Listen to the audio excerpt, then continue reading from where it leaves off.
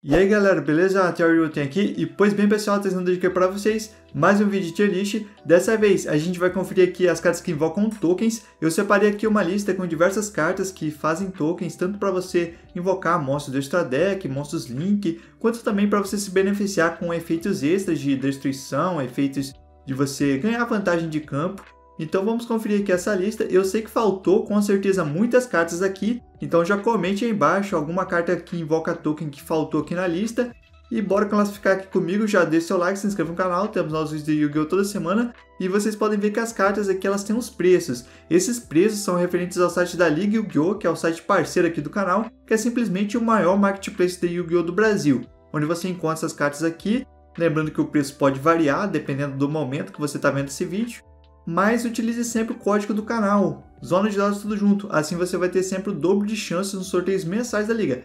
Tem sorteio lá todo mês, então vale a pena conferir, o link vai ter aí na descrição. E bora conferir aqui as classificações da nossa lista, a gente tem o Broken, que são as cartas mais insanas aqui da lista, temos o Forte, são cartas razoavelmente boas, temos aqui o Bom, o Ok e o Ultrapassado.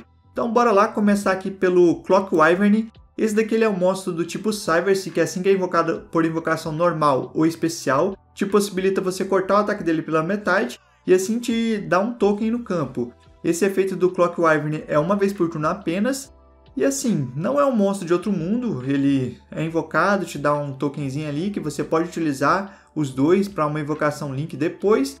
Pode ser interessante em alguns decks de Cyverse, mas de modo geral é uma carta bem ok, é uma carta que é interessante, te dá umas possibilidades de extra deck. Próxima carta aqui da lista é o Phantom Sky Blaster. Esse monstro é bem interessante, assim que ele é invocado normalmente ou por invocação flip normal, ele te possibilita invocar tokens iguais ao número de monstros que você controla. Ou seja, ele sempre vai dobrar a quantia de monstros que você tem em campo. Se você invocar ele sozinho, você já bota um token. Se você já tiver um outro monstro, quando você invocar ele, você invoca dois tokens, ficando com quatro monstros.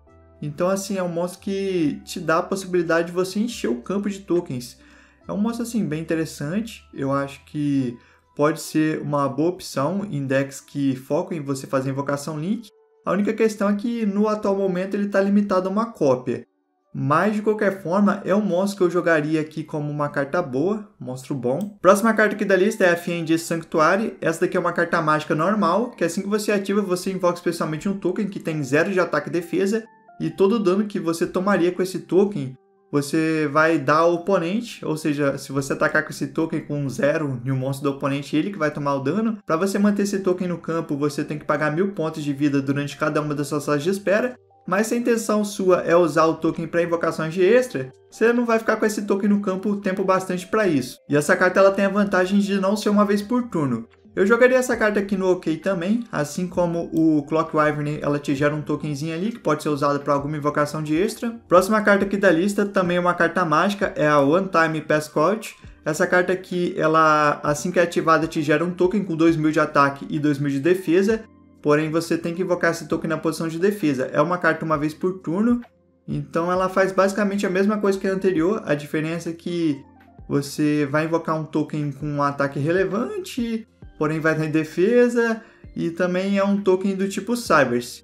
Então essa carta eu também jogaria como ok, é uma carta que te gera um tokenzinho ali para você, quem sabe, usar para alguma invocação de extra. Próxima carta aqui é Scapegoat, essa é uma carta mágica de jogo rápido, a galera com certeza conhece essa carta, quando se fala em token, a primeira carta que vem à cabeça com certeza deve ser essa carta. É uma carta que já teve seu momento de glória quando a gente usava tanto na época de formato Gold Control, quanto também na época de Trickster Sky Striker, foi uma carta bem usada para invocações Link. A única questão aqui é que quando você ativa ela e invoca 4 tokens, você não pode fazer invocações de monstros durante esse turno.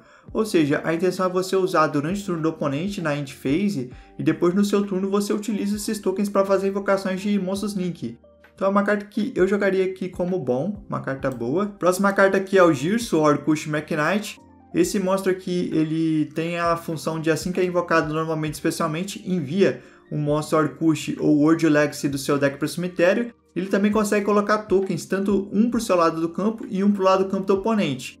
É um monstro que cumpre bem o seu papel, é um monstro que pode te gerar invocações Link 2, você consegue de uma única vez, além de fazer vantagem no cemitério. É uma carta que eu jogaria como boa. Próxima carta aqui é o Gors. Esse monstro aqui, ele é bem nostálgico, talvez a galera mais nova não conheça essa carta. Ela, digamos assim, é uma hand trap, que assim que você toma dano por uma carta do oponente, você pode invocar tanto ele quanto um token para o seu lado do campo. O token ele vai ter ataque igual ao dano que você tomou, ou seja, esse monstro ele era usado quando o oponente estava lá batendo com um monstro de 3000, vamos dizer. Você invocava o Goz, invocava um token com 3000 de ataque e controlava bastante o jogo, segurava a fase de batalha. É um monstro que teve o seu momento de auge, hoje em dia é uma carta que infelizmente acabou ficando ultrapassada, então eu vou deixar ele aqui no ultrapassado. Claro que talvez em comparação às outras cartas aqui ele seja uma carta até melhor, mas ele ganhou esse título de ultrapassado, infelizmente. Próxima carta aqui é o Nibiru. O Nibiru todo mundo já conhece, uma das melhores cartas do jogo. Assim que o oponente faz ali a quinta invocação, você pode invocar ele tributando tudo no campo e junto com o token também que você invoca para o lado do campo do oponente o token nessa situação ele não vai te ajudar, né? É um token que você vai dar para o oponente em troca de você tributar tudo. Mas não deixa de ser uma carta que invoca token. Eu jogaria essa carta aqui como broken, não tem uma outra opção para colocar ela. Próxima carta aqui é uma mágica de jogo rápido, é a Fires of Doomsday. Essa carta aqui ela é uma versão reduzida da Scapegoat, pode ser ativada para você invocar dois tokens. Esses tokens não podem ser tributados, exceto por um monstro do atributo Dark, e você não pode invocar monstro durante o turno que você ativa. Ou seja, você vai ativar que nem Scapegoat no fim do turno do oponente, para depois utilizar esses monstros para alguma invocação Link e ou talvez uma invocação de tributo também você pode usar de um monstro Dark, mas de qualquer modo é uma carta que eu jogaria como ok, já que ela é um pouco mais fraca do que a Scapegoat. Então jogaria ela aqui. Próxima carta aqui é o Blackwing Steam the Clock. Esse monstro assim que deixa o campo, ele te dá um token. E ele tem um efeito também no cemitério de tributar um monstro para se invocar especialmente. Então ele é um monstro bem versátil.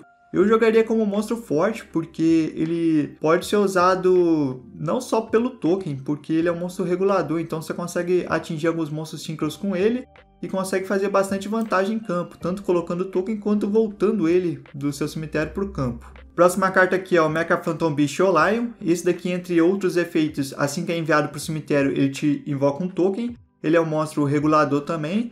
E ele foi bastante usado com os Crystal Hawk Fibrax é um monstro que pode ser também usado com a Forte Burial. Você simplesmente envia ele do deck para o cemitério e já gera um token ali para você.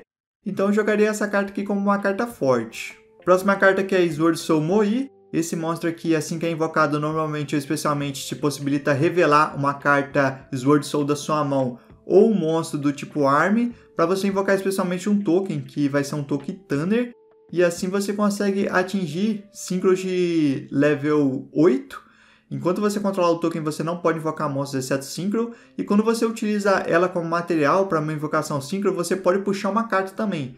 Ou seja, é um monstro muito versátil, muito forte, mesmo que ele é restrito ao próprio deck, é um monstro que eu colocaria como um monstro broken aqui, uma carta broken, porque realmente é uma carta muito forte. Aqui a gente pode classificar qualquer outra das cartas de Sword Soul que invocam tokens. O Taya tem também o Long Yuan, podem ser classificados junto aqui com a Moi. Próxima carta aqui é o campo mágico Layer of Darkness. Esse campo ele torna todos os monstros no campo do atributo Trevas, do atributo Darks. E você pode, uma vez por turno, tributar um monstro do campo do oponente. E no fim do turno, ele invoca tokens para o lado do campo do jogador que é dono do turno, até o número de monstros que foram tributados durante esse turno. Ou seja, essa carta aqui eu colocaria como uma carta forte. Eu acho que é uma carta que tem um bom controle de campo e consegue gerar tokens, apesar de não ser a função melhor dessa carta aqui. Próxima carta aqui é uma mágica normal, é a Phantom Sanctuary. Essa carta aqui, assim que ativada, ela te gera dois tokens do atributo Luz e durante o turno que você ativar essa carta, você não pode invocar especialmente, exceto o monstro do atributo Luz. E esses tokens eles não podem ser usados como invocação Synchro. E essa carta aqui, eu acho que ela se classifica no mesmo nível do que essas outras aqui no OK. Porque ela te dá uma vantagemzinha dos tokens, mas te restringe bastante. Então eu jogaria ela aqui no OK. Próxima carta aqui é a K-Switch. Essa carta ela tem dois efeitos. O primeiro é que você pode tributar ela para invocar dois tokens do atributo Trevas ou se ela for banida, você invoca dois tokens do atributo luz. Ela é um monstro do atributo Dark, ou seja, você consegue combinar com a Lure of Darkness e assim banir e invocar dois tokens. E tem que lembrar que os efeitos dela é um ou outro. Ou você invoca por tributar ela, ou você invoca por banir. Então eu classificaria essa carta como boa. Eu acho que em certos decks ela pode fazer bastante vantagem de campo. Próxima carta aqui é o Doppel Warrior. Esse monstro aqui na época de Synchro era insano. Assim que você invoca um monstro especialmente do cemitério, você pode invocar ele especialmente da sua mão. E se ele deixar o campo para uma invocação Synchro, você invoca dois tokens de nível 1. Ou seja, que te gera muita vantagem, entra fácil em campo. Assim, ele é bem restrito a Synchro. Então talvez ficaria aqui no bom por conta disso mas é assim uma carta muito boa. Próxima carta aqui é a Hit of Aremesir. Essa carta aqui, se você não controla um Adventure Token, você pode invocar especialmente um Adventure Token com 2000 de ataque. É um monstro que vai dar um bom controle de campo ali para você. E o bom dessa carta é todas as cartas do arquétipo que giram em torno desse token. Então é uma carta que por si só ela só geraria um token ali, mas no contexto geral ela acaba sendo uma carta muito broken, porque ela invoca um token que vai ter muita interação com as outras cartas do arquétipo. Então deixaria ela aqui no Broken. Próxima carta aqui é o Mermer. Esse daqui ele é um monstro Tanner de nível 7.